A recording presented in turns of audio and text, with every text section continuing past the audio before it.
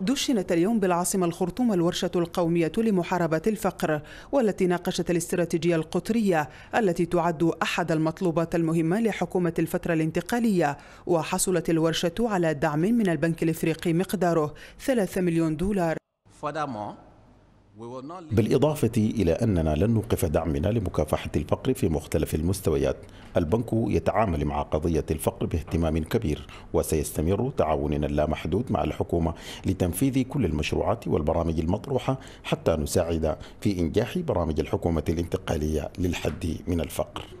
وفقا للجهاز المركزي للإحصاء فإن نسبة التضخم للشهر الماضي وصلت إلى 330.78 نقطة بينما وصلت مستويات الفقر بحسب وزارة المالية السودانية إلى ما يفوق في المئة. استراتيجية خفض الفقر آه، تناقش عدة آه، محاور ابتداء من الإصلاح الاقتصادي والاستقرار الاقتصادي ورفع معدل النمو وأيضا توفير الخدمات الأساسية لكل المواطنين آه، في السودان.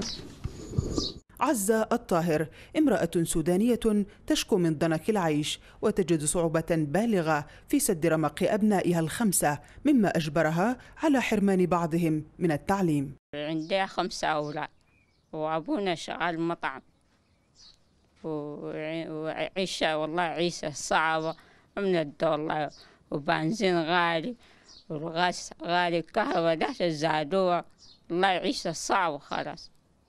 أنا حمش شغالين عيش أنا شغالة لا بعكم بوش إسكلي بس دي عيشتنا شغالين فيها. وده ما تكفي.